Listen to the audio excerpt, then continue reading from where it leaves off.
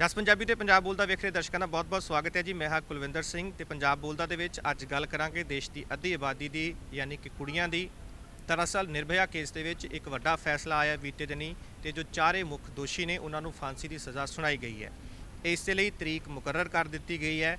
22 ਜਨਵਰੀ ਨੂੰ ਸਵੇਰੇ 7 ਵਜੇ ਤਿਹਾੜ ਜੇਲ੍ਹ ਦੇ ਵਿੱਚ ਇਹਨਾਂ ਚਾਰਾਂ ਦੋਸ਼ੀਆਂ ਨੂੰ ਫਾਂਸੀ ਦੀ ਸਜ਼ਾ ਦਿੱਤੀ ਜਾਏਗੀ।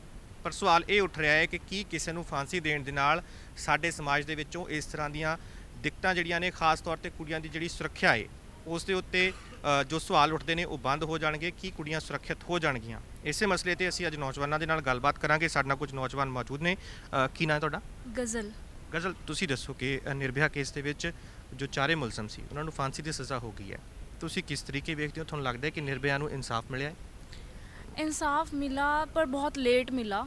और फांसी की सज़ा देने का जो इन्होंने डिसीज़न लिया, वो एक तरह से सही है बट वही है कि बहुत लेट लिया।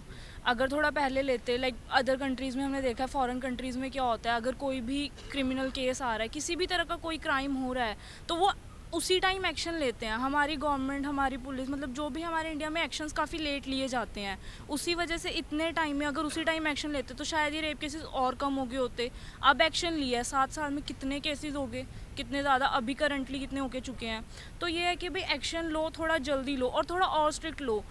एक ये भी है कि चलो डिसीज़न तो ले लिया फांसी का बट मुझे नहीं लगता कि भाई इससे रेप केसेस पर ज़्यादा इफ़ेक्ट पड़ेगा। बिकॉज़ फैमिलीज़ को, लड़कों को समझाना चाहिए। लोग मतलब लड़कियों को रोकते हैं कि शाम को छः बजे के बाद, सात बजे तक बाद बाहर नहीं जाना।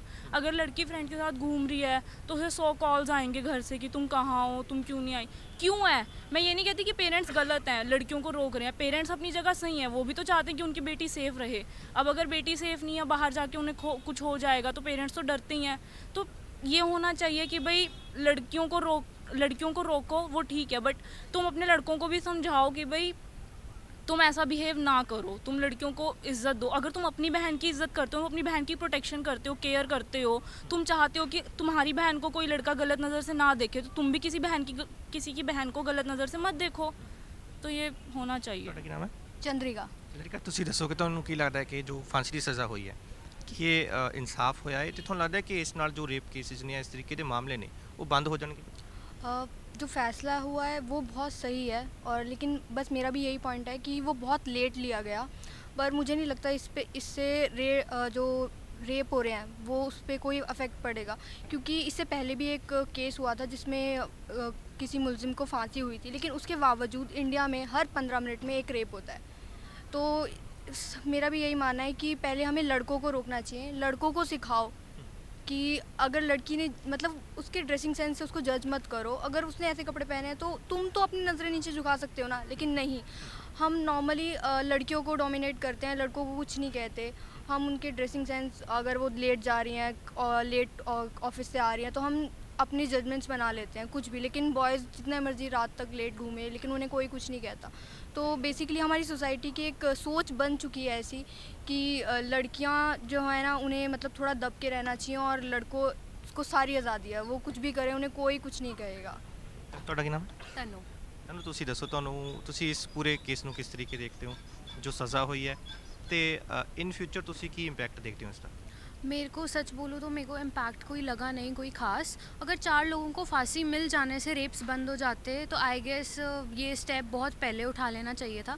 जैसे कि दूसरी फॉरेन कंट्रीज़ हैं, उन्होंने कितने स्टेप्स उठाए हैं हमारे लिए? मेरे को आज तक मतलब कॉलेजेस में, बाहर, कहीं भी जाओ, मेरे को नहीं दिखता ईव टीजिंग के इतने केसेस हैं, इतने ज़्यादा केसेस हैं, हर दो या तीन मिनट में आजकल केसेस आ रहे हैं कि छोटी छोटी बच्चियों का रेप हो रहा है, जब वो लोग सेफ़ नहीं हैं, लोग बात करते हैं कपड़े की, लोग बात करते हैं कास्ट की, लोग बात करते हैं लड़कियों के करेक्टर की बट मेरे हिसाब से इन सब मुद्दों पे से हट के हमें उन मुद्दों की बात करनी चाहिए। हमारे जो हमारा कॉन्स्टिट्यूशन है या जो हमारी पार्लियामेंट है, इन्होंने क्या किया है हमारे लिए? इन्होंने कुछ भी नहीं किया। क्या रूल्स बनाए हैं इन्होंने? ये लोग हमेशा लड़कियों, अगर लड़कियों को तुम्हें बचाना है तो मेरे हिसाब से लड़कियों के लिए नहीं रूल्स बनने चाहिए। लड़कों के लिए रूल्स बनने चाहिए। हम इक्वल कॉन्स्टिट्यूशन की बात करते हैं, हम फंडामेंटल राइट्स की बात करते हैं। कुछ भी तो नहीं करा इन्होंने हमारे लिए। क्या करा है?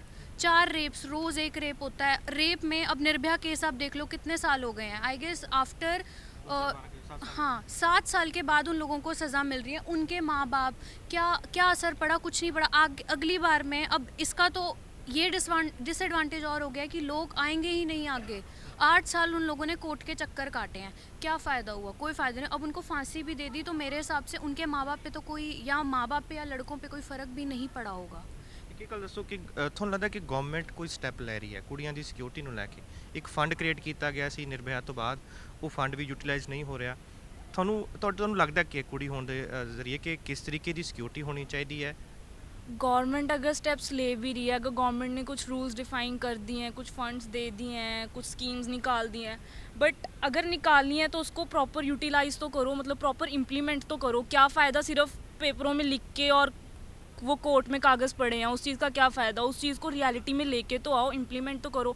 फंड आ गया स्टेट के पास रखा है अ, किसी ऑफिसर के पास रखा है वो वहीं रखा है डेस्क में ही रखा है तुम अपना यूज़ कर रहे हो। जिस चीज़ के लिए तुम्हें फंड दिया गया उस पर यूज़ करो। सिक्योरिटी के लिए दिया गया उस पर यूज़ करो। सिक्योरिटी बढ़ाओ सिक्योरिटी गार्ड्स बढ़ाओ या फिर जैसे नाइट ड्यूटी पर जो गार्ड्स होते हैं उन्हें बढ़ाओ ठीक है? मैं एक चीज़ और कहना चाहूँगी, जैसे मेरे को कंट्री का नाम नहीं याद, उस कंट्री में क्या होता है, अगर रेप केस होता है ना, एक तो तुरंत एक्शन लिया जाता है प्लस ये वहाँ का जो रूल है ना, वहाँ सज़ा कैसे दी जाती है, वहाँ फांसी नहीं देते। वहाँ उस इंसान को जिसने रेप किया, उसे यह एहसास दिलाते हैं कि अगर आपके साथ कुछ बुरा हो रहा है, आपके साथ कोई ऐसी दर्दनाक चीज़ हो रही है ना तो कैसा महसूस होता है? उस बंदे ने उस लड़की के साथ रेप किया, उस बंदे को इतना मतलब टॉर्चर किया जाता है ना, कि वो बंदा खुद कहता है कि मुझे मार दो। कभी उसकी उंगली काट देंगे, कभी उसकी हाथ की उंगली, कभी पैर की उंगली, कभी आधा हाथ काट देंगे। उस बंदे को दिखाओ कि दर्द क्या होता है। तभी इंसान डरेगा कुछ गलत करने से। फांसी से आजकल कोई नहीं डरता। हमारे इंडिया में इतने लोग हैं, लोग कहते हैं, क्या होगा? ज़्यादा ज़्यादा फांसी हो जाएगी। हम तो बच के निकल जाएँगे। हमारे इतने रिश्तेदार हैं, यहाँ पॉलिटिशियन हैं, या ये जान पहचान है, या वो जान पहचान है। फांसी से आज के टाइम पर कोई नहीं डरता, स्पेशली वो जो रेप करने जा रहा है। वो डरेगा तब जब उसे कोई ऐसा कुछ ऐसा दिखेगा कि अगर बाय चांस एक परसेंट चांस भी अगर मैं पकड़ा गया तो मेरे साथ क्या गलत होगा? मेरे साथ मुझे कितना पेन दिया जाएगा? मुझे कितनी बुरी सज़ा मिलेगी? तो मतलब कुछ ऐसा रूल बनाना चाहिए कि बंदा एक बार सोचने से पहले भी डर- अगर उसके मन में एक बार इतना सा भी थॉट आ रहा है ना कि मैं ये गलत काम करूँ तो उससे पहले ही बंदा उसकी रूह काँप उठे कि भाई नहीं, मेरे को नहीं करना।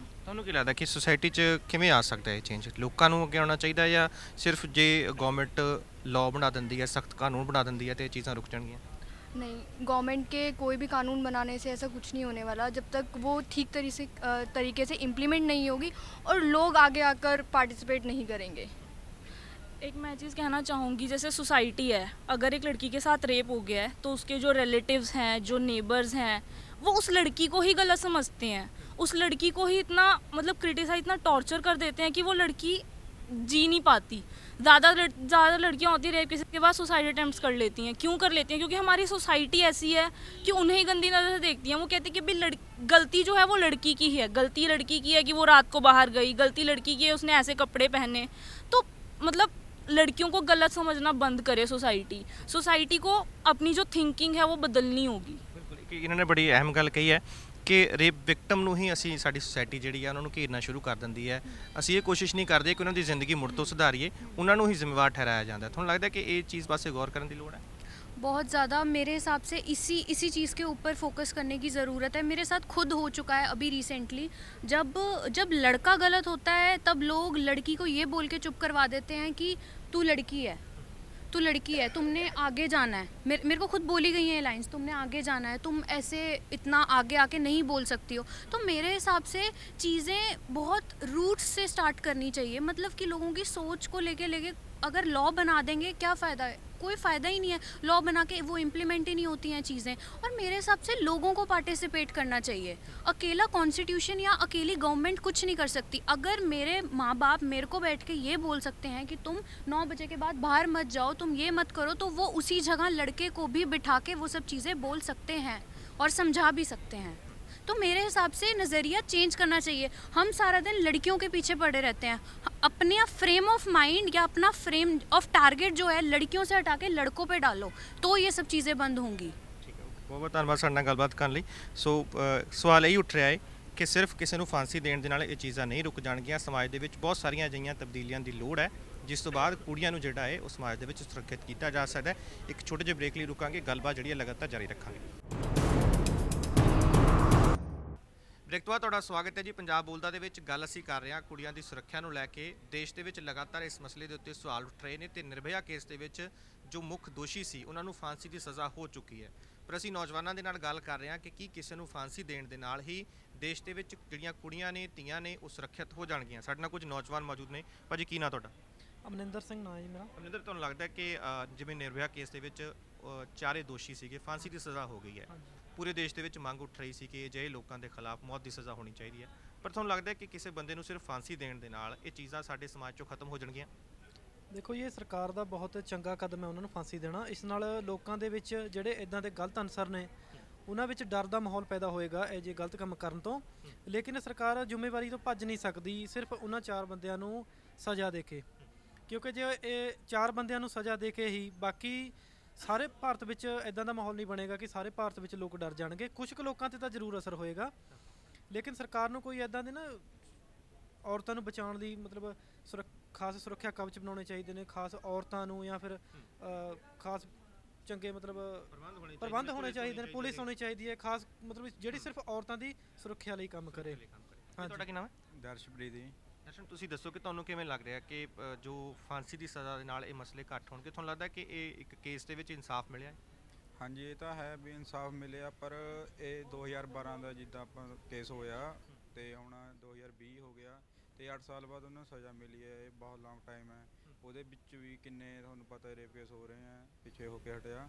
ਤੇ ਵਧੀਆ ਗੱਲ ਹੈ, ਉਹਨੂੰ ਕਿਸੇ ਨੂੰ ਫਾਂਸੀ ਮਿਲ, ਦੇ ਰਹੇ ਆ ਉਹ ਤੇ ਉਹਨਾਂ ਨੂੰ ਇਫੈਕਟ ਪਊਗਾ, ਨੌਜਵਾਨ ਪੀੜ੍ਹੀ ਤੇ ਵੀ ਉਹਨਾਂ ਨੂੰ ਡਰ ਪ ਹੋਊਗਾ ਨਾ ਮਾਹੌਲ ਹੋਊਗਾ ਡਰ ਦਾ ਤੇ ਕੁਝ ਪਰਸੈਂਟ ਘੱਟ ਵੀ ਸਕਦੇ ਆ ਪਰ ਸਰਕਾਰ ਨੂੰ ਵੀ ਇਹਦੇ ਲਈ ਕੁਝ ਪ੍ਰਬੰਧ ਕਰਨੇ ਚਾਹੀਦੇ ਵੱਖਰੇ ਉਹਨਾਂ ਨੂੰ ਤੁਹਾਨੂੰ ਲੱਗਦਾ ਕਿ ਪ- ਪਹਿਲਾਂ ਦੇ ਮੁਕਾਬਲੇ ਕੁੜੀਆਂ ਦੀ ਸਿਕਿਉਰਿਟੀ ਦੀ ਅਸੀਂ ਗੱਲ ਕਰਦੇ ਹਾਂ ਕਿਉਂਕਿ ਇਹ ਚੀਜ਼ਾਂ ਸਾਡੇ ਸਮਾਜ ਦੇ ਵਿੱਚ ਪਹਿਲਾਂ ਤੋਂ ਹੁੰਦੀਆਂ ਆ ਰਹੀਆਂ ਨੇ। ਪਰ ਤੁਹਾਨੂੰ ਲੱਗਦਾ ਕਿ ਪਹਿਲਾਂ ਦੇ ਮੁਕਾਬਲੇ ਇਹ ਚੀਜ਼ ਜਿਹੜੀ ਹੈ ਕੁੜੀਆਂ ਦੇ ਖਿਲਾਫ ਜਿਹੜੇ ਅਪਰਾਧ ਨੇ ਉਹ ਵਧੇ ਨੇ? ਵਧੇ। ਹਾਂਜੀ ਵਧੇ ਨੇ ਜੀ। ਵਧੇ ਨੇ। ਲੋਕਾਂ ਦੀ ਪਹਿਲਾਂ ਸਹਿਣਸ਼ੀਲਤਾ ਜ਼ਿਆਦਾ ਹੁੰਦੀ ਸੀਗੀ ਜੀ। ਹੁਣ ਸਹਿਣਸ਼ੀਲਤਾ ਵਿੱਚ ਬਹੁਤ ਕਮੀ ਦੇਖੀ ਜਾ ਰਹੀ ਹੈ। ਦੇਖੋ, ਇੰਨੇ ਸਰਕਾਰਾਂ ਨੇ ਆਪਣੇ ਸਕੂਲ, ਕਾਲਜ ਵੀ ਖੋਲ੍ਹ ਦਿੱਤੇ ਨੇ, ਇੰਨੇ ਆਪਣੇ ਐਜੂਕੇਸ਼ਨ ਵਧੀ ਹੈ। ਪਰ ਐਜੂਕੇਸ਼ਨ ਦੇ ਵਧਣ ਨਾਲ ਵੀ ਨਾ ਕ੍ਰਾਈਮ ਵਿੱਚ ਕਮੀ ਨਹੀਂ ਆਈ। ਇਹਦੇ ਲਈ ਪਤਾ ਨਹੀਂ ਕੀ ਸਾਡੇ ਸੋਚ ਵਿੱਚ ਕਮੀ ਹੋ ਗਈ ਜਾਂ ਨੌਜਵਾਨਾਂ ਦੀ ਸੋਚਣ ਸ਼ਕਤੀ, ਸਹਿਣ ਸ਼ਕਤੀ ਘਟ ਗਈ। ਔਰਤਾਂ ਤੇ ਅਪਰਾਧ ਦਿਨ ਪ੍ਰਤੀ ਦਿਨ ਵਧ ਹੀ ਰਹੇ ਨੇ ਵੀ ਜੀ। ਤੇ ਸਰਕਾਰਾਂ ਇਹਦੇ ਪ੍ਰਤੀ ਮੈਨੂੰ ਜਾਗਰੂਕ ਨਹੀਂ ਲੱਗਦੀਆਂ ਕਿਉਂਕਿ ਸੈਂਟਰ ਨੇ ਨਾ ਕੁਝ ਕੁ ਸਾਲ ਪਹਿਲਾਂ ਸ਼ਾਇਦ ਫੰਡ ਅਰੇਂਜ ਕੀਤੇ ਸੀਗੇ 10-12 ਕਰੋੜ ਦੇ ਕੁਝ ਐਦਾਂ ਪਰ ਸਰਕਾਰਾਂ ਜਿਹੜੀਆਂ ਸੈਂਟਰ ਦੀਆਂ ਸਰਕਾਰਾਂ ਤਾਂ ਅਨਾਉਂਸ ਕਰ ਦਿੰਦੀਆਂ ਨੇ ਪਰ ਰਾਜ ਦੀਆਂ ਸਰਕਾਰਾਂ 10-10 20% ਯੂਜ਼ ਕਰਕੇ ਉਹਨੂੰ ਤੇ ਇੱਧਰ ਧਿਆਨ ਨਹੀਂ ਦੇ ਰਹੀਆਂ। ਤਾਂ ਕਰਕੇ ਨਾ ਮਤਲਬ ਯੂਥ ਗਲਤ ਪਾਸੇ ਗਾਈਡ ਹੋ ਰਿਹਾ ਹੈ ਤੇ ਅਪਰਾਧ ਵਧ ਰਹੇ ਜੀ ਔਰਤਾਂ ਪ੍ਰਤੀ। ਸਾਡੀ ਸੋਸਾਇਟੀ ਦਾ ਇੱਕ ਵੱਡਾ ਰੋਲ ਹੁੰਦਾ ਹੈ ਧੀਆਂ ਦੀ ਸੁਰੱਖਿਆ ਨੂੰ ਲੈ ਕੇ। ਤੁਸੀਂ ਜਿਵੇਂ ਇੱਕ ਨੌਜਵਾਨ ਹੈ ਕੋਈ ਮੁੰਡਾ ਘਰ ਦੇ ਵਿੱਚ ਪੜ ਰਿਹਾ ਤਾਂ ਤੁਸੀਂ ਸਮਾਜ ਦੇ ਵਿੱਚ ਸਾਡੀ ਜ਼ਿੰਮੇਵਾਰੀ ਹੁੰਦੀ ਹੈ ਕਿ ਅਸੀਂ ਕਿਸੇ ਦੀ ਇੱਜ਼ਤ ਕਰਨਾ ਸਿਖਾਈਏ ਉਹ ਚੀਜ਼ਾਂ ਨੂੰ। ਤੁਹਾਨੂੰ ਲੱਗਦਾ ਹੈ ਕਿ ਸਾਡੇ ਸਮਾਜ 'ਚ ਮੁੰਡਿਆਂ ਨੂੰ ਇਹ ਗੱਲ ਸਿਖਾਈ ਜਾਂਦੀ ਹੈ? ਜਾਂ ਤੁਹਾਨੂੰ ਲੱਗਦਾ ਹੈ ਕਿ ਹਾਲੇ ਵੀ ਜਿਵੇਂ ਅਸੀਂ ਪਹਿਲਾਂ ਕਹਿੰਦੇ ਹੁੰਦੇ ਸੀ ਕਿ ਔਰਤ ਨੂੰ ਪੈਰ ਦੀ ਜੁੱਤੀ ਕਿਹਾ ਜਾਂਦਾ ਹੈ ਉਹੀ ਸਾਡੇ ਸਮਾਜ ਦੇ ਵਿੱਚ ਸੋਚ ਅੱਜ ਵੀ ਕੰਮ ਕਰਦੀ ਹੈ? ਤੇ ਇਹ ਤਾਂ ਕੋ ਕਾਫੀ ਕੁਝ ਬਦਲ ਚੁੱਕਿਆ ਹੁਣ। ਹਰੇਕ ਪੇਰੈਂਟਸ ਆਪਣੇ ਬੱਚੇ ਨੂੰ ਚੰਗੀ ਸਿੱਖਿਆ ਹੀ ਦੇਣਾ ਚਾਹੁੰਦਾ ਹੈ ਤੇ ਉਹ ਸਿਖਾਉਂਦੇ ਵੀ ਆ ਵੀ ਹਰੇਕ ਲੜਕੀ ਨੂੰ ਇੱਜ਼ਤ ਦਿਓ ਰਿਸਪੈਕਟ ਕਰੋ। ਤੇ ਇਹ ਵੱਖਰੀ ਗੱਲ ਹੈ ਕਿ ਅੱਗੇ ਇਹਨੂੰ ਬੱਚਾ ਨਹੀਂ ਸਮਝਦਾ ਤੇ ਆਪਾਂ ਕਿਸੇ ਦੀ ਸੋਚ ਬਦਲਦਾ ਸਕਦੇ ਨਹੀਂ। ਹੁਣ ਆਪਣੇ ਕਨੀ ਤੇ ਆਪਾਂ ਗਾਈਡ ਕਰ ਸਕਦੇ ਬੰਦੇ ਨੂੰ ਤੇ ਉਹਦੀ ਸੋਚ ਨੂੰ ਆਪਾਂ ਬਦਲ ਨਹੀਂ ਸਕਦੇ। ਤੁਹਾਨੂੰ ਲੱਗਦਾ ਕਿ ਮਾਪੇ ਅਹਿਮ ਭੂਮਿਕਾ ਨਿਭਾ ਸਕਦੇ ਆ ਕਿ ਕੁੜੀਆਂ ਬਾਰੇ ਦੱਸਿਆ ਜਾਵੇ ਕਿ ਔਰਤ ਦੀ ਕਿਸੇ ਦੀ ਸਮਾਜ ਦੇ ਵਿੱਚ ਕਿਸ ਤਰੀਕੇ ਇੱਜ਼ਤ ਕਰਨੀ ਹੈ? ਮਾਪਿਆਂ ਨੂੰ ਅੱਗੇ ਆਉਣਾ ਚਾਹੀਦਾ ਇਹਦੇ ਵਿੱਚ? ਹਾਂਜੀ ਮਾਪਿਆਂ ਨੂੰ ਅੱਗੇ ਆਉਣਾ ਚਾਹੀਦਾ ਕਿਉਂਕਿ ਮਾਪੇ ਫਸਟ ਟੀਚਰ ਹੁੰਦੇ ਨੇ ਜੀ ਬੱਚੇ ਦਾ ਤੇ ਜੋ ਆਪਣੇ ਘਰ ਦਾ ਮਾਹੌਲ ਹੁੰਦਾ ਹੈ ਬੱਚਾ ਉਹੀ ਸਮਾਜ ਵਿੱਚ ਕਰਦਾ ਹੈ ਉਹ ਉਦਾਂ ਦੀ ਉਹਦੀ ਰਹਿਣ ਸਹਿਣਸ਼ੀਲਤਾ ਤੇ ਰਹਿਣੀ ਸਹਿਣੀ ਹੁੰਦੀ ਹੈ ਜੋ ਆਪਣੇ ਘਰ ਵਿੱਚ ਮਾਹੌਲ ਹੁੰਦਾ ਹੈ ਤੇ ਮਾਪੇ ਨੂੰ ਨਾ ਆਪਣੇ ਚਾਹੇ ਮੁੰਡਾ ਹੈ ਚਾਹੇ ਕੁੜੀ ਹੈ ਉਹਨੂੰ ਇੱਕ ਦੂਜੇ ਦੇ ਪ੍ਰਤੀ ਮਤਲਬ ਵੀ ਸਹਿਣਸ਼ੀਲਤਾ ਤੇ ਇੱਕ ਦੂਜੇ ਦੀ ਇੱਜ਼ਤ ਕਰਨੀ ਸਿਖਾਉਣੀ ਚਾਹੀਦੀ ਹੈ ਮੁੰਡਿਆਂ ਨੂੰ ਖਾਸ ਕਰਕੇ ਕੁੜੀਆਂ ਦੀ ਇੱਜ਼ਤ ਕਰਨੀ ਤੇ ਉਹਨਾਂ ਨਾਲ ਚੰਗਾ ਵਿਵਹਾਰ ਕਰਨਾ। ਕਿਸੇ ਬਾਹਰ ਜਿਹਨੂੰ ਆਪਾਂ ਕੁੜੀ ਨੂੰ ਜਾਣਦੇ ਨਹੀਂ ਉਪਰੀ ਕੁੜੀ ਕਹਿ ਲਓ ਉਹਨਾਂ ਲਈ ਮਤਲਬ ਚੰਗੀ ਸੋਚ ਰੱਖਣ ਦੀ ਲਈ ਮਾਪੇ ਗਾਈਡ ਕਰ ਸਕਦੇ ਨੇ। ਬਹੁਤ ਧੰਨਵਾਦ ਸਾਡੇ ਨਾਲ ਗੱਲਬਾਤ ਕਰਨ ਲਈ। ਸੋ ਇਹ ਸਨ ਕੁਝ ਨੌਜਵਾਨ ਜਿਨ੍ਹਾਂ ਦਾ ਇਹ ਮੰਨਣਾ ਹੈ ਕਿ ਬੇਸ਼ੱਕ ਇੱਕ ਅਹਿਮ ਕਦਮ ਚੁੱਕਿਆ ਗਿਆ ਹੈ ਕਿ ਦੇਰੀ ਹੋਈ ਹੈ ਜੋ ਨਿਰਭਇਆ ਕੇਸ ਦੇ ਵਿੱਚ ਸਜ਼ਾ ਸੁਣਾਈ ਗਈ ਹੈ ਮੁਲਜ਼ਮਾਂ ਨੂੰ। ਬੇਸ਼ੱਕ ਉਸ ਦੇ ਵਿੱਚ ਦੇਰੀ ਹੋਈ ਹੈ ਪਰ ਇਸ ਨਾਲ ਕਿਤੇ ਨਾ ਕਿਤੇ ਸਮਾਜ ਦੇ ਵਿੱਚ ਥੋੜਾ ਬਹੁਤਾ ਡਰ ਅਜਿਹੇ ਅੰਸਰਾਂ ਦੇ ਮਨ ਦੇ ਵਿੱਚ ਜ਼ਰੂਰ ਬੈਠੇਗਾ, ਜੋ ਮਨ ਦੇ ਵਿੱਚ ਮਾੜੀ ਭਾਵਨਾ ਰੱਖਦੇ ਨੇ ਤੇ ਇਸ ਤਰੀਕੇ ਦੇ ਕਾਰਿਆਂ ਨੂੰ ਅੰਜਾਮ ਦੇਣ ਦੇ ਲਈ ਜਿਨ੍ਹਾਂ ਦੇ ਮਨ ਦੇ ਵਿੱਚ ਕਿਸੇ ਵੀ ਤਰ੍ਹਾਂ ਦੀ ਕੋਈ ਇੱਛਾ ਸ਼ਕਤੀ ਜਿਹੜੀ ਸੀ ਉਹ ਪਨਪ ਰਹੀ ਸੀ। ਫਿਲਹਾਲ ਇੱਕ ਛੋਟੇ ਜਿਹੇ ਬ੍ਰੇਕ ਲਈ ਰੁਕਾਂਗੇ, ਪੰਜਾਬ ਬੋਲਦਾ ਲਗਾਤਾਰ ਜਾਰੀ ਰਹੇਗਾ।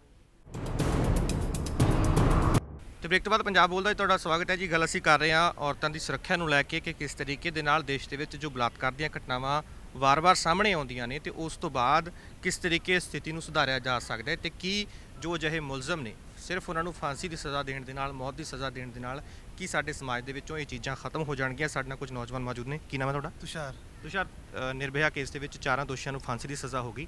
ਤੁਹਾਨੂੰ ਕੀ ਲੱਗਦਾ ਹੈ ਕਿ ਇਸ ਫਾਂਸੀ ਤੋਂ ਬਾਅਦ ਸਾਡੇ ਸਮਾਜ ਦੇ ਵਿੱਚ ਕੋਈ ਸੁਧਾਰ ਆਏਗਾ? ਕੁੜੀਆਂ ਦੀ ਸਿਕਿਉਰਿਟੀ ਜਿਹੜੀ ਸੁਰੱਖਿਆ ਹੈ ਉਹ ਵਧੇਗੀ ਜਾਂ ਸਿਰਫ ਇਸੇ ਤਰੀਕੇ ਇਹ ਚੀਜ਼ਾਂ ਚੱਲਦੀਆਂ ਰਹਿਣਗੀਆਂ? ਮੈਨੂੰ ਲੱਗਦਾ ਕੋਈ ਸੁਧਾਰ ਨਹੀਂ ਆਣਾ ਇਹਨਾਂ ਦਾ ਕਿਉਂਕਿ ਕੁੜੀਆਂ ਹਰ ਰੋਜ਼ ਰੇਪ ਹੋ ਰਹੇ ਆ। ਛੋਟੇ ਬੱਚਿਆਂ ਤੋਂ ਲੈ ਕੇ ਵੱਡੇ ਦਾ ਕੋਈ ਦੇਖ ਸਾਲ 2 ਸਾਲ ਦੇ ਬੱਚੇ ਦਾ ਵੀ ਰੇਪ ਹੋ ਰਿਹਾ ਜਿਸ ਸਰਕਾਰ ਕੁਝ ਵੀ ਨਹੀਂ ਕਰ ਰਹੀ। ਜਸਟ ਜਸਟ ਫਾਂਸੀ ਦੇਤੀ ਉਹਨਾਂ ਨੂੰ ਬਟ 10 ਸਾਲ ਬਾਅਦ ਦਿੱਤੀ ਜਾ ਕੇ ਇੰਨੀ ਲੇਟ ਦਿੱਤੀ ਫਾਂਸੀ ਉਸ ਟਾਈਮ ਕਿਉਂ ਨਹੀਂ ਦਿੱਤੀ? ਅਸੀਂ ਜਿੱਦਾਂ ਦੇਖਦੇ ਹਾਂ ਬਾਅਦ ਸ਼ਹਿਰਾਂ ਮੁਲਕਾਂ ਦੁਬਈ ਦੇਖ ਲਓ ਕੋਈ ਬੰਦਾ ਚੋਰੀ ਵੀ ਕਰਦਾ ਔਰ ਹੱਥ ਕੱਟੇ ਜਾਂਦੇ ਆ। ਤਾਂ ਇੱਥੇ ਚੋਰੀ ਦੂਰ ਦੀ ਗੱਲ ਹੈ ਤੇ ਰੇਪ ਹੋ ਜਾਂਦੇ ਇੱਥੇ ਬੱਚਿਆਂ ਦੇ। ਕਿੰਨੀ ਗਲਤ ਗੱਲ ਆ ਲੋਕਾਂ ਨੂੰ ਕਰਨੇ ਚਾਹੀਦੇ ਆ ਕੋਈ ਇਹ ਦੱਸੋ ਕਿ ਅਸੀਂ ਕੁੜੀਆਂ ਨਾਲ ਵੀ ਗੱਲ ਕੀਤੀ ਹੈ। ਕੁੜੀਆਂ ਦਾ ਇਹ ਕਹਿਣਾ ਹੈ ਕਿ ਹਮੇਸ਼ਾ ਕੁੜੀਆਂ ਨੂੰ ਜ਼ਿੰਮੇਵਾਰ ਠਹਿਰਾ ਦਿੱਤਾ ਜਾਂਦਾ ਹੈ। ਕਿ ਸਮਾਜ ਦੇ ਵਿੱਚ ਕੁੜੀਆਂ ਨੂੰ ਕੱਪੜੇ ਪਹਿਨਣ ਤੋਂ ਲੈ ਕੇ ਦੇਰ ਰਾਤ ਤੱਕ ਰੁਕਣ ਤੱਕ ਨੂੰ ਲੈ ਕੇ ਕੁੜੀਆਂ ਨੂੰ ਟੋਕਿਆ ਜਾਂਦਾ ਹੈ। ਪਰ ਇਹ ਚੀਜ਼ਾਂ ਮੁੰਡਿਆਂ ਤੇ ਲਾਗੂ ਨਹੀਂ ਹੁੰਦੀਆਂ। ਮੁੰਡਿਆਂ ਤੇ ਵੀ ਲਾਗੂ ਹੋਣੇ ਚਾਹੀਦੇ ਹਨ ਕਿਉਂਕਿ ਅਸੀਂ ਅੱਜ ਚੰਡੀਗੜ੍ਹ ਸ਼ਹਿਰ ਵਿੱਚ ਰਹਿ ਰਹੇ ਹਾਂ, ਦੇਖ ਰਹੇ ਹਾਂ ਕਿ ਕਿੱਦਾਂ ਇੱਕ ਰਾਤੀ ਰਾਤੀ ਰਾਤੀ ਇੱਥੇ ਡੀਜੇ ਵਗੈਰਾ ਪਾਰਟੀਆਂ ਹੁੰਦੀਆਂ, ਡਿਸਕ ਵਗੈਰਾ ਹੁੰਦੇ ਆ, ਜ਼ਿਆਦਾਤਰ ਮੁੰਡੇ ਜ਼ਿਆਦਾ ਸ਼ਰਾਬ ਹੋ ਕੇ ਬੁਰਾ ਹਾਲ ਹੁੰਦਾ। ਬਟ ਤਕਰੀਬਨ ਜ਼ਿਆਦਾ ਕੁੜੀਆਂ ਦਾ ਵੀ ਕਸੂਰ ਆ, ਕਿਉਂਕਿ ਕੁੜੀਆਂ ਜ਼ਿਆਦਾ ਅੱਜਕੱਲ ਜ਼ਿਆਦਾ ਤੇਜ਼ ਆ, ਮਤਲਬ ਕਿ ਕਿੱਦਾਂ ਬੋਲੀਏ, ਮੁੰਡਿਆਂ ਨਾਲੋਂ ਜ਼ਿਆਦਾ ਤੇਜ਼ ਨਾ ਹੋ ਸ਼ਰਾਬ ਵਗੈਰਾ, ਦਾਰੂ ਸਿਗਰਟ ਵਗੈਰਾ ਸਮੋਕਿੰਗ ਵਗੈਰਾ ਗਲਤ ਸੰਗਤ ਵਿੱਚ ਹੋ ਚੁੱਕਾ ਸਭ ਕੁਝ ਜਿਸ ਕਰਕੇ ਕਿ ਜਿਸ ਕਰਕੇ ਪ੍ਰੋਬਲਮ ਆ ਰਹੀਆਂ ਹੈ ਇਹ ਗੱਲਾਂ ਗਵਰਨਮੈਂਟ ਨੂੰ ਕੁਝ ਸਟੈਪ ਚੱਕਣੇ ਚਾਹੀਦੇ ਹਨ ਕਿ ਰਾਤੀ ਕੁਝ ਪ੍ਰੋਪਰ ਕੋਈ ਚੀਜ਼ ਹੋਣੀ ਚਾਹੀਦੀ ਹੈ ਕਿ ਪੁਲਿਸ ਵਾਸਤੇ ਕਿ ਉਹ ਚੈੱਕ ਕਰਨ ਇੱਕ ਵਾਰ ਕੋਈ ਸਟੈਪ ਨਹੀਂ ਚੱਕ ਹੁੰਦਾ ਤੁਹਾਡਾ ਕੀ ਨਾਮ ਹੈ ਉਮੇਸ਼ ਜੀ ਉਮੇਸ਼ ਤੁਸੀਂ ਦੱਸੋ ਕਿ ਤੁਹਾਨੂੰ ਕੀ ਲੱਗਦਾ ਹੈ ਕਿ ਫਾਂਸੀ ਦੇਣ ਦੇ ਨਾਲ ਰੇਪ ਮਾਮਲਿਆਂ 'ਚ ਇਨਸਾਫ ਹੋ ਗਿਆ ਇਹ ਚੀਜ਼ਾਂ ਬੰਦ ਹੋ ਜਾਣਗੀਆਂ ਨਹੀਂ ਮੇਰੇ ਹਿਸਾਬ ਨਾਲ ਇਹ ਚੀਜ਼ ਐਦਾਂ ਨਹੀਂ ਬੰਦ ਹੋ ਸਕਦੀ ਕਿਉਂਕਿ ਆਪਾਂ ਦੇਖਦੇ ਆ ਰਹੇ ਕਿਉਂਕਿ ਪਹਿਲੀ ਗੱਲ ਤਾਂ ਇਹਨੂੰ ਜਿਹੜੀ ਫਾਂਸੀ ਦਿੱਤੀ ਗਈ ਹੈ ਚਾਰ ਜਣਿਆਂ ਨੂੰ ਇਹ ਬਹੁਤ ਲੇਟ ਦਿੱਤੀ ਗਈ ਹੈ। ਜਿਹਦੇ ਕਰਕੇ ਪਹਿਲੀ ਗੱਲ ਤਾਂ ਇੰਨੇ ਸਾਲਾਂ 'ਚ ਵੈਸੇ ਰੋ ਬਹੁਤ ਰੇਪ ਹੋ ਚੁੱਕੇ ਨੇ ਤੇ ਆਪਾਂ ਰੀਸੈਂਟਲੀ ਦੇਖਿਆ ਉਹਨੇ ਰੀਸੈਂਟਲੀ ਵੀ ਇੱਥੇ ਚਿਤਕਾਰਾ 'ਚ ਵੀ ਬੜੀ ਸੀ- ਇੱਕ ਸੀਨ ਹੋਇਆ ਸੀਗਾ ਕੁੜੀ ਦਾ ਰੇਪ ਕਰਕੇ। ਹੁਣ ਗੱਲ ਇਹ ਹੈ ਕਿ ਜਦ ਕਿਸੇ ਦਾ ਰੇਪ ਹੁੰਦਾ ਨਾ ਮੋਸਟਲੀ ਜੇ ਕਿਸੇ ਕਾਲਜ ਦੀ ਗੱਲ ਕਰੀਏ ਤਾਂ ਆਪਾਂ ਤੇ ਉਹ ਨਾ ਆਪਾਂ ਕ- ਅ, ਨੂੰ ਛੁਪਾਉਣ ਦੀ ਇਹ ਕਰਦੇ ਕਿ ਆਪਾਂ ਲੁਕਾ ਲਈਏ ਤਾਂ ਕਿ ਸਾਡਾ ਨਾਮ ਨਾ ਖਰਾਬ ਹੋਵੇ। ਤੇ ਬੇਸਿਕਲੀ ਆਪਾਂ ਦੇਖਿਆ ਜਾਵੇ ਰੇਪ ਤਾਂ ਹੋ ਰਿਹਾ ਇਹ ਗੱਲ ਹੈ ਕਿ ਅੱਧੇ ਲੁੱਕ ਜਾਂਦੇ ਨੇ, ਅੱਧੇ ਬਾਹਰ ਆ ਜਾਂਦੇ ਨੇ। ਤੇ ਜਿਹੜੇ ਬਾਹਰ ਆਉਂਦੇ ਨੇ, ਉਹਨਾਂ ਦੇ ਆਪਾਂ ਮੇਰੇ ਖਿਆਲ ਨਾਲ ਉਸੇ ਟਾਈਮ ਐਕਸ਼ਨ ਲੈਣਾ ਚਾਹੀਦਾ ਵਾ। ਮੈਨੂੰ ਮੇਰੇ ਖਿਆਲ ਨਾਲ ਨਹੀਂ ਲੱਗਦਾ ਕਿ ਇੰਨਾ ਗੈਪ ਇਹਨਾਂ ਨੂੰ ਦੇਣਾ ਚਾਹੀਦਾ ਵੈਸੇ ਵੀ, ਕਿਉਂਕਿ ਆਪਾਂ ਜੇ ਇਸਲਾਮਿਕ ਸਟੇਟਸ ਦੇਖ ਲਈਏ ਕਿਤੇ ਵੀ ਉਹਨਾਂ ਦਾ ਐਟ ਅ ਟਾਈਮ ਉਹਨਾਂ ਨੂੰ ਕੋਈ ਵੀ ਮਤਲਬ ਐਟ ਅ ਟਾਈਮ ਉਹਨਾਂ ਨੂੰ ਫਾਂਸੀ ਦੇਣਾ ਜਾਂ ਗੋਲੀ ਮਾਰਨਾ ਜਾਂ ਕੋਈ ਵੀ ਆ। ਮੈਨੂੰ ਲੱਗਦਾ ਕਿ ਇਸ ਜਿਸ ਤਰੀਕੇ ਇੱਕ ਹੈਦਰਾਬਾਦ ਦੇ ਵਿੱਚ ਹੁਣ ਪਿੱਛੇ ਜੇ ਵੈਟਰਨਰੀ ਡਾਕਟਰ ਨਾਲ ਬਲਾਤਕਾਰ ਹੋਇਆ ਸੀ ਉਹ ਜਿਹੜੇ ਚਾਰੇ ਬੰਦੇ ਸੀ ਉਹਨਾਂ ਨੂੰ ਉਹਨਾਂ ਦਾ ਐਨਕਾਊਂਟਰ ਕਰ ਦਿੱਤਾ ਗਿਆ। ਪਰ ਉਹਦੇ ਤੇ ਵੀ ਸਵਾਲ ਉੱਠੇ ਕਿ ਤੁਸੀਂ ਪੂਰੀ ਅਦਾਲਤੀ ਪ੍ਰਕਿਰਿਆ ਤੋਂ ਬਿਨਾਂ ਕਿਸੇ ਨੂੰ ਇਸ ਤਰੀਕੇ ਮਾਰ ਦੋ ਉਹ ਵੀ ਗਲਤ ਹੈ। ਪਰ ਤੁਹਾਨੂੰ ਲੱਗਦਾ ਕਿ ਇੱਕ ਪੂਰਾ ਜਿਹੜਾ ਕਾਨੂੰਨੀ ਪ੍ਰੋਸੈਸ ਹੈ ਉਹ ਫੋਲੋ ਹੋਣਾ ਚਾਹੀਦਾ? ਜੇ ਆਪਾਂ ਕਾਨੂੰਨ ਦੇ ਹਿਸਾਬ ਨਾਲ ਚੱਲਾਂਗੇ ਤੇ ਸਾਰਿਆਂ ਨੂੰ ਪਤਾ ਕਿ ਇੰਡੀਆ ਦੇ ਵਿੱਚ ਕਾਨੂੰਨ ਦੇ ਹਿਸਾਬ ਨਾਲ ਫਿਰ ਆ 10 ਸਾਲ ਹੀ ਲੱਗਣਗੇ। ਜੇ ਐਨਕਾਊਂਟਰ ਕੀਤਾ, ਉਹ ਕਿਤੇ ਨਾ ਕਿਤੇ ਆਪਣੀ ਜਗ੍ਹਾ ਤੇ ਸਹੀ ਵੀ ਆ ਤੇ ਕਿਤੇ ਨਾ ਕਿਤੇ ਆਪਣੀ ਜਗ੍ਹਾ ਤੇ ਗਲਤ ਵੀ ਆ। ਉਹ ਸਹੀ ਇਸ ਕਰਕੇ ਆ ਕਿ ਜੇ ਆਪਾਂ ਕਾਨੂੰਨ ਦੇ ਹਿਸਾਬ ਨਾਲ ਚੱਲਦੇ ਤਾਂ ਸ਼ਾਇਦ ਬਹੁਤ ਟਾਈਮ ਲੱਗ ਜਾਂਦਾ ਉਹਨਾਂ ਨੂੰ ਫਾਂਸੀ ਦੇ ਲਈ।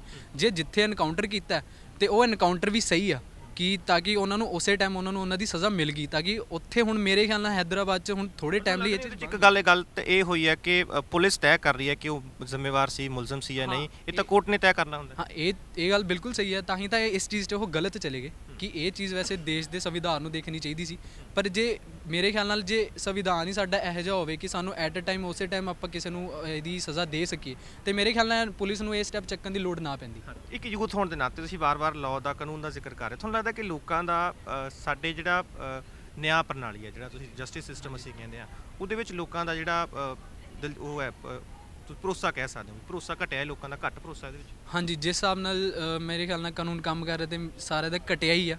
ਵੱਧ ਵੱਧ ਉਦੋਂ ਸਕਦਾ ਹੈ ਜਦ ਆਪਾਂ ਆਪਣੇ ਦੇਸ਼ ਦੇ ਲਈ ਕੋਈ ਚੱਜ ਦੀ ਚੀਜ਼ ਕਰੀਏ। ਠੀਕ ਹੈ? ਜੇ ਆਪਾਂ ਹੁਣ ਕੁੜੀਆਂ ਦੀ ਸੇਫਟੀ ਦੀ ਗੱਲ ਕਰੀਏ ਤਾਂ ਕੁੜੀਆਂ ਦੀ ਸੇਫਟੀ ਲਈ ਜਿੰਨਾ ਆਪਾਂ ਨੂੰ ਮੁੰਡਿਆਂ ਨੂੰ ਕਹਿਣਾ ਚਾਹੀਦਾ ਉਹਨਾਂ ਆਪਾਂ ਨੂੰ ਵੱਧ ਲਈ ਵੀ ਰੱਖਣਾ ਪੈਣਾ। ਕੁੜੀਆਂ ਲਈ ਵੀ ਆਪਾਂ ਨੂੰ ਸਿਕਿਉਰਿਟੀ ਕਰਨੀ ਪੈਣੀ ਆ। ਤੇ ਉਹਦੇ ਲਈ ਆਪਾਂ ਨੂੰ ਰੂਲਸ ਬਣਾਉਣੇ ਪੈਣੇ ਨੇ। ਭਾਈ ਤੁਹਾਡਾ ਕੀ ਨਾਮ ਹੈ? ਰੈਕਸੀਆ। ਅੱਛਾ ਤੁਸੀਂ ਦੱਸੋ ਕਿ ਕੁੜੀਆਂ ਸਾਡੇ ਦੇਸ਼ ਦੇ ਵਿੱਚ ਸੁਰੱਖਿਅਤ ਹੈਗੀਆਂ ਨੇ ਜਾਂ ਨਹੀਂ? ਸਭ ਤੋਂ ਪਹਿਲਾਂ ਤਾਂ ਮੈਂ ਤੁਹਾਡੇ ਚੈਨਲ ਦਾ ਤੇ ਪੂਰੀ ਟੀਮ ਦਾ ਦਿਲੋਂ ਧੰਨਵਾਦ ਕਰਦਾ। ਤੁਸੀਂ ਇਸ ਨਿਊਜ਼ ਨੂੰ ਕਵਰ ਕਰ ਰਹੇ ਹੋ। ਤੇ ਕੁੜੀਆਂ ਤਾਂ ਸੁਰੱਖਿਅਤ ਹੈ ਵੀ ਤੇ ਨਹੀਂ ਵੀ ਹੈ, ਕਿਉਂਕਿ ਇੰਨੇ ਸਾਲਾਂ ਤੋਂ ਅਸੀਂ ਰਹਿ ਰਹੇ ਹਾਂ ਇਸ ਦੇਸ਼ 'ਚ, ਐ ਵੀ ਨਹੀਂ ਕਹਿ ਸਕਦੇ ਵੀ ਕੁੜੀਆਂ ਬਿਲਕੁਲ ਹੀ ਸੁਰੱਖਿਅਤ ਨਹੀਂ ਹੈ। ਤੇ ਜਿਹੜੀ ਗੱਲ ਹੈ ਵੀ ਹੁਣ ਫਾਂਸੀ ਹੋਈ ਹੈ, ਉਹਨਾਂ ਨੂੰ ਸਜ਼ਾ ਮੁ- ਮੁਕਰਰ ਕੀਤੀ ਗਈ ਹੈ, ਉਹ ਬਹੁਤ ਵਧੀਆ ਸਟੈਪ ਹੈ, ਭਾਵੇਂ ਲੇਟ ਬੈਕ ਹੈਗਾ, ਲੇਕਿਨ ਗਵਰਨਮੈਂਟ ਨੇ ਕੁਝ ਕੀਤਾ ਤਾਂ ਹੈਗਾ। ਹੁਣ ਇਹਦਾ ਇੰਪੈਕਟ ਜ਼ਰੂਰ ਪੜੂਗਾ ਲੇਕਿਨ ਥੋੜਾ ਲੇਟ ਪਊਗਾ ਲੇਕਿਨ ਪੜੇਗਾ ਜ਼ਰੂਰ। ਕੀ ਇੰਪੈਕਟ ਲੱਗਦਾ ਤੁਹਾਨੂੰ? ਮੈਨੂੰ ਲੱਗਦਾ ਹੁਣ ਰੇਪ ਹੋਣਾ ਮਤਲਬ ਇੱਕ ਬੰਦੇ ਦੇ ਦਿਲ 'ਚ ਡਰ ਤਾਂ ਆਊਗਾ ਯਾਰ ਕੱਲੋਂ ਮੈਂ ਹੁਣ ਇਹ ਗਲਤ ਕੰਮ ਕਰ ਰਿਹਾ ਵੀ ਕੱਲੋਂ ਮੈਨੂੰ ਵੀ ਫਾਂਸੀ ਹੋ ਸਕਦੀ ਹੈ ਮੇਰੇ ਨਾਲ ਵੀ ਕੁਝ ਹੋ ਸਕਦਾ ਹੈ। ਤੇ ਜਿਹੜੇ ਇਹ ਰੇਪ ਕਰਦੇ ਆ ਨਾ ਮੈਂ ਇਹਨਾਂ ਨੂੰ ਸਪੈਸ਼ਲੀ ਦੱਸਣਾ ਚਾਹੁੰਦਾ ਇਹ ਬੰਦੇ ਮੈਂਟਲੀ ਮੈਨੂੰ ਲੱਗਦਾ ਇਹ ਬਿਮਾਰ ਹੁੰਦੇ ਆ। ਇਹ ਸੋਸਾਇਟੀ ਦਾ ਪਾਰਟ ਨਹੀਂ ਹੁੰਦੇ ਇਹ ਫਸਟ੍ਰੇਟਡ ਹੁੰਦੇ ਕਿਸੇ ਵੀ ਆਪਣੀ ਲਾਈਫ ਤੋਂ। ਤੇ ਜਦ ਇਹ ਐਜੇ ਕੰਮ ਕਰਦੇ ਆ ਤੇ ਜਦ ਇਹ ਕਰਦੇ ਆ ਮਤਲਬ। ਸੀਨ ਹੈ ਜਿਹੜਾ ਆਪਣਾ ਏਜ ਦੀ ਹੈ। ਤੇ ਜਿਹੜੇ ਲੋਕੀ ਕਹਿੰਦੇ ਵੀ ਕੁੜੀਆਂ ਸ਼ੋਰਟ ਡਰੈਸ ਪਾ ਕੇ ਜਾਂਦੀ ਹੈ ਜਾਂ ਮਤਲਬ ਐਦਾਂ ਮੈਨੂੰ ਸੁਸਾਇਟੀ 'ਚ ਦੇਖਿਆ ਮੈਂ ਕੁੜੀਆਂ ਦੀ ਮਤਲਬ ਇਹ ਸੋਚ ਹੁੰਦੀ ਹੈ ਅੱਧੇ ਰਿਸ਼ਤੇਦਾਰ ਦੀ ਫੈਮਿਲੀ ਦੀ ਆ ਜਿਹੜੇ ਆਸ ਪੜੋਸ 'ਚ ਰਹਿੰਦੇ ਆ ਵੀ ਉਹ ਕੁੜੀਆਂ ਨੂੰ ਬਲੇਮ ਕਰਦੇ ਵੀ ਕੁੜੀਆਂ ਸ਼ੋਰਟ ਡਰੈਸ ਪਾਉਂਦੀ ਹੈ ਤੇ ਮਤਲਬ ਇਹ ਕਰਦੀ ਹੈ। ਤੇ ਮੈਂ ਉਹਨਾਂ ਨੂੰ ਕਹਿਣਾ ਚਾਹੁੰਦਾ ਜਿਹੜੀ ਇੱਕ 5 ਸਾਲ ਦੀ ਕੁੜੀ ਦਾ ਵੀ ਰੇਪ ਹੋ ਰਿਹਾ ਇੱਕ 50 ਸਾਲ ਦੀ ਆਂਟੀ ਦਾ ਵੀ ਰੇਪ ਹੋ ਰਿਹਾ ਉਹ 'ਚ ਮੁੰਡੇ ਨੂੰ ਕੀ ਦਿਖ ਲਿਆ? ਐਦਾਂ ਦਾ ਕੋਈ ਨਹੀਂ ਇਹ ਬੰਦੇ ਦੇ ਆਪ ਦਾ ਇੰਟੈਂਸ਼ਨ ਹੁੰਦਾ ਵੀ ਉਹਨੇ ਕੀ ਕਰਨਾ ਹੈ। ਹੁਣ ਤੇ ਮੈਂ ਕੁੜੀਆਂ ਨੂੰ ਇੱਕ ਗੱਲ ਕਹਿਣਾ ਚਾਹੁੰਦਾ ਵੀ ਜੇ ਤੁਸੀਂ ਆਪਣੇ ਭਰਾ ਤੋਂ, ਤੁਸੀਂ ਆਪਣੇ ਭਰਾ ਨੂੰ ਪਿਆਰ ਕਰਦੇ ਹੋ, ਤੁਹਾਡਾ ਭਰਾ ਤੁਹਾਡੀ ਰਿਸਪੈਕਟ ਕਰਦਾ ਹੈ ਪੂਰੀ, ਤੁਹਾਡੀ ਕੇਅਰ ਕਰਦਾ ਹੈ। ਤੁਸੀਂ ਆਪਣੇ ਭਰਾ ਤੋਂ ਵੀ ਇੱਕ ਪ੍ਰੋਮਿਸ ਲੈਣਾ ਵੀ ਤੁਸੀਂ ਜਿਵੇਂ ਮੇਰੀ ਰਿਸਪੈਕਟ ਕਰਦੇ ਹੋ ਨਾ, ਤੁਸੀਂ ਸੋਸਾਇਟੀ 'ਚ ਸਾਰੀ ਕੁੜੀਆਂ ਦੀ ਉਨਾ ਹੀ ਰਿਸਪੈਕਟ ਕਰਨੀ ਹੈ। ਤੇ ਹਰ ਕੁੜੀ ਜੇ ਇਦਾਂ ਕਰੂਗੀ ਤਾਂ ਫਿਰ ਮੈਨੂੰ ਲੱਗਦਾ ਵੀ ਰੇਪ ਨਹੀਂ ਹੋਊਗਾ। ਤੇ ਜਿਹੜਾ ਆਪਣਾ ਕਨਸਟੀਟਿਊਸ਼ਨ ਹੈ, ਉਹ ਤਾਂ ਬਿਲਕੁਲ ਠੀਕ ਹੈ, ਆਪਾਂ ਕਨਸਟੀਟਿਊਸ਼ਨ ਨੂੰ ਗਲਤ ਨਹੀਂ ਕਹਿ ਸਕਦੇ। 1947 ਚ ਸਾਡਾ ਦੇਸ਼ ਆਜ਼ਾਦ ਹੋਇਆ ਸੀਗਾ ਹੁਣ ਅੱਜ ਅਸੀਂ 2020 ਚ ਬੈਠੇ ਹਾਂ। ਉਸ ਕਨਸਟੀਟਿਊਸ਼ਨ ਤੇ ਕਰਕੇ ਹੀ ਬੈਠੇ ਹਾਂ। ਤੇ ਉਹ ਬਿਲਕੁਲ ਠੀਕ ਹੈ ਲੇਕਿਨ ਕੀ ਹੁੰਦਾ ਹੈ ਇੱਕ ਕਨਸਟੀਟਿਊਸ਼ਨ ਤੋਂ ਨਾ ਤੋੜਨ ਦੇ ਲੋਕੀ ਬਹੁਤ ਸਾਰੇ ਆਪਣੇ ਆ ਸੁਜੈਸ਼ਨਸ ਉੱਤੇ ਆ ਜਿਹੜੇ ਆਉਂਦੇ ਆ ਰੂਲ ਰੈਗੂਲੇਸ਼ਨ ਨੂੰ ਤੋੜਨ ਲਈ ਆ। ਮਾਮਲਿਆਂ 'ਚ ਗੱਲ ਇਹ ਉੱਠਦੀ ਹੈ ਕਿ ਤੁਹਾਨੂੰ ਬਹੁਤ ਸਾਲ ਲੱਗ ਜਾਂਦੇ ਆ। ਜਿਵੇਂ ਹੁਣ ਨਿਰਭਇਆ ਦਾ ਕੇਸ ਹੈ 2012 'ਚ ਹੋਇਆ ਤੇ ਤੁਹਾਨੂੰ 2020 ਤੱਕ ਇੰਤਜ਼ਾਰ ਕਰਨਾ ਪਿਆ। ਸਵਾਲ ਇਹ ਉੱਠਦਾ ਹੈ ਕਿ ਜਿਹੜੀ ਪ੍ਰਕਿਰਿਆ ਹੈ ਨਿਆਂ ਦੀ ਪ੍ਰਕਿਰਿਆ ਜਿਹੜੀ ਹੈਗੀ ਉਹ ਬਹੁਤ ਲੰਬੀ ਹੈ ਤੇ ਜਿਹੜਾ ਬੰਦਾ ਨਿਆਂ ਦੇ ਲਈ ਲੜਦਾ ਹੈ ਜੋ ਕਿ ਵਿਕਟਮ ਹੈ ਉਸ ਨੂੰ ਬਹੁਤ ਇੰਤਜ਼ਾਰ ਕਰਨਾ ਪੈਂਦਾ, ਉਹ ਥੱਕ ਜਾਂਦਾ ਇਸ ਲੜਾਈ ਦੇ ਵਿੱਚ। ਨਹੀਂ, ਮੈਨੂੰ ਤਾਂ ਲੱਗਦਾ ਇਹ ਭਾਜੀ ਪਤਾ ਕੀ, ਮੈਨੂੰ ਲੱਗਦਾ ਵੀ ਇਹ ਕੁਐਸਚਨ ਹੀ ਗਲਤ ਹੈ। ਹੁਣ ਤੁਸੀਂ ਨਿਆਂ ਦੀ ਪ੍ਰਕਿਰਿਆ ਨੂੰ ਤੁਸੀਂ ਬਲੇਮ ਹੀ ਨਹੀਂ ਕਰ ਸਕਦੇ। ਮੇਨ ਤਾਂ ਪਹਿਲੀ ਗੱਲ ਹੈ ਵੀ ਰੇਪ ਹੋਇਆ ਹੀ ਕਿਉਂ ਆ? ਤੇ ਰੇਪ ਹੋਣਾ ਹੀ ਨਹੀਂ ਚਾਹੀਦਾ। ਤੇ ਉਹ ਕਿਉਂ ਨਹੀਂ ਹੋਗਾ ਜਦ ਬੰਦਾ ਆਪਣੀ ਇੱਕ ਰਿਸਪੌਂਸਿਬਿਲਟੀ ਲੈ ਲੂਗਾ? ਵੀ ਮੈਂ ਇੱਕ ਇੰਟੈਂਸ਼ਨ ਨਾ ਰੱਖੇ ਬੰਦਾ। ਇੱਕ ਇਹ ਰੇਪ ਹੁੰਦਾ ਹੀ ਕਿਉਂ ਹੈ? ਇਹ ਰੇਪ ਹੁੰਦਾ ਹੀ ਹੈ। ਬੰਦੇ ਦਾ ਮੈਨੂੰ ਲੱਗਦਾ ਬੰਦਾ ਮੈਂਟਲੀ ਬਿਮਾਰ ਹੈ ਉਹ, ਜਦੋਂ ਰੇਪ ਕਰ ਰਿਹਾ ਹੈ। ਇੱਕ ਜਿਹੜਾ ਰੇਪ ਬੰਦਾ ਕਰਦਾ, ਉਹ ਉਹੀ ਕਰਦਾ, ਜਿਹ 'ਚ ਹਿੰਮਤ ਨਹੀਂ ਹੈ, ਉਹੀ ਕਰਦਾ ਹੈ। ਯੂਥ ਹੋਣ ਦੇ ਨਾਤੇ ਤੁਸੀਂ ਮੰਨਦੇ ਹੋ ਕਿ ਸਮਾਜ 'ਚੋਂ ਇਹ ਚੀਜ਼ ਬੰਦ ਹੋ ਸਕਦੀ ਹੈ ਬਲਾਤਕਾਰ ਜਾਂ ਛੇੜਛਾੜ ਦੇ ਜਿਹੜੇ ਮਾਮਲੇ ਨੇ ਉਹ ਕਿਸੇ ਸਮਾਜ ਦੇ ਵਿੱਚ ਬੰਦ ਹੋ ਸਕਦੇ ਨੇ। ਇਸ ਸਮਾਜ 'ਚ ਮਤਲਬ ਬਿਲਕੁਲ ਬੰਦ ਹੋ ਸਕਦੇ ਆ ਤੇ ਇਸ ਲਈ ਆਪਾਂ ਨੂੰ ਕੀ ਕਰਨਾ ਪੈਣਾ? ਸਭ ਤੋਂ ਪਹਿਲਾਂ ਤਾਂ ਆਪਾਂ ਨੂੰ ਖੁਦ ਚ- ਚੌਕੀਨਾ ਹੋਣਾ ਪੈਣਾ ਤੇ ਕੁੜੀਆਂ ਨੂੰ ਆਪਾਂ ਜਿੰਨੀ ਫਰੀडम ਦਿੰਦੇ ਆਪਾਂ ਮੁੰਡਿਆਂ ਨੂੰ ਵੀ ਪੁੱਛ ਸਕਦੇ ਵੀ ਤੂੰ ਰਾਤ ਨੂੰ 10 ਵਜੇ ਕੀ ਕਰਨ ਜਾ ਰਿਹਾ ਹੈ ਤੇ ਕਿੱਥੇ ਜਾ ਰਿਹਾ ਹੈ ਤੇ ਉਹਦੇ ਨਾਲ ਵੀ ਬਹੁਤ ਫ਼ਰਕ ਪੜੂਗਾ ਤੇ ਜਿਹੜੇ ਪੋਲੀਟੀਸ਼ੀਅਨਸ ਆ ਉਹਨਾਂ ਨੂੰ ਮੈਨੂੰ ਲੱਗਦਾ ਪੁਲਿਸ ਵਾਲਿਆਂ ਨੂੰ ਸਪੈਸ਼ਲ ਹਿਦਾਇਤ ਦੇਣੀ ਚਾਹੀਦੀ ਹੈ ਤੇ ਜਿਵੇਂ ਰੇਪ ਦੇ ਬਾਰੇ ਤੇ ਜੇ ਕੁੜੀ ਇੱਕ ਕੰਪਲੇਂਟ ਕਰਦੀ ਹੈ, ਮੈਨੂੰ ਇਸ ਮੁੰਡੇ ਨੇ ਛੇੜਿਆ ਜਾਂ ਮੇਰਾ ਮੁੰਡਾ ਪਿੱਛਾ ਕਰਦਾ ਹੈ, ਮੈਨੂੰ ਕੁਝ ਵੀ ਇਹਨੇ ਕੀਤਾ ਸੋਸ਼ਲ ਨੈਟਿੰਗ ਸਾਈਡ ਤੇ ਮੈਨੂੰ ਸਟਾਕ ਹੀ ਕੀਤਾ ਹੈ ਤੇ ਉਸ ਟਾਈਮ ਪੁਲਿਸ ਐਕਸ਼ਨ ਨਹੀਂ ਲੈਂਦੀ ਤੇ ਜਦ ਬਲਾਤਕਾਰ ਹੋ ਜਾਂਦਾ, ਰੇਪ ਹੋ ਜਾਂਦਾ, ਜਦ ਪੁਲਿਸ ਐਕਸ਼ਨ ਚ ਆਉਂਦੀ ਹੈ ਤੇ ਗਲਤੀ ਕਿਤੇ ਨਾ ਕਿਤੇ ਪੁਲਿਸ ਦੀ ਹੈ। ਆਪਾਂ ਕਨਸਟੀਟਿਊਸ਼ਨ ਨੂੰ ਬਿਲਕੁਲ ਬਲੇਮ ਨਹੀਂ ਕਰ ਸਕਦੇ, ਕਿਉਂ ਕਨਸਟੀਟਿਊਸ਼ਨ ਤੁਹਾਨੂੰ ਇਤਨੇ ਸਾਲਾਂ ਤੱਕ ਜਦ ਦੇਸ਼ ਚਲਾ ਕੇ ਇੱਧਰ ਤੱਕ ਲਿਆ ਉਹ ਅੱਗੇ ਵੀ ਲੈ ਕੇ ਜਾਊਗਾ। ਤੇ ਥੈਂਕ ਯੂ ਸੋ ਮਚ ਠੀਕ ਹੈ ਬਹੁਤ ਬਹੁਤ ਧੰਨਵਾਦ ਸਾਡੇ ਨਾਲ ਗੱਲਬਾਤ ਕਰਨ ਲਈ। ਸੋ ਇਹ ਸਨ ਕੁਝ ਨੌਜਵਾਨ ਜਿਨ੍ਹਾਂ ਦਾ ਮੰਨਣਾ ਹੈ ਕਿ ਕਾਨੂੰਨ ਦੇ ਵਿੱਚ ਤਬਦੀਲੀਆਂ ਹੋਣੀਆਂ ਵੀ ਜ਼ਰੂਰੀ ਨੇ ਉਸ ਨੂੰ ਸਖਤ ਕਰਨਾ ਵੀ ਜ਼ਰੂਰੀ ਹੈ। ਪਰ ਜਿੱਥੋਂ ਤੱਕ ਕੁੜੀਆਂ ਦੀ ਸੁਰੱਖਿਆ ਦਾ ਮਾਮਲਾ ਹੈ, ਤਾਂ ਇਸ ਦੇ ਵਿੱਚ ਸਮਾਜ ਦੀ ਭੂਮਿਕਾ ਵੀ ਅਹਿਮ ਹੈ। ਕਾਨੂੰਨ ਦੇ ਵਿੱਚ ਸਖਤ ਕਾਨੂੰਨ ਬਣਾਉਣ ਦੇ ਵਿੱਚ ਸਰਕਾਰਾਂ ਦੀ ਭੂਮਿਕਾ ਵੀ ਅਹਿਮ ਹੈ ਤੇ ਹਰ ਕਿਸੇ ਨੂੰ ਆਪਦੇ ਵਿੱਚ ਤਬਦੀਲੀ ਲਿਆਉਣੀ ਪਏਗੀ, ਜੇਕਰ ਅਸੀਂ ਇਹ ਚੀਜ਼ ਚਾਹੁੰਦੇ ਹਾਂ ਕਿ ਸਾਡੇ ਸਮਾਜ ਦੇ ਵਿੱਚੋਂ ਖਤਮ ਹੋਵੇ। ਤੇ ਫਿਲਹਾਲ ਅੱਜ ਦੇ ਪੰਜਾਬ ਬੋਲਦਾ ਦੇ ਵਿੱਚ ਐਨਾ ਹੀ। ਧੰਨਵਾਦ।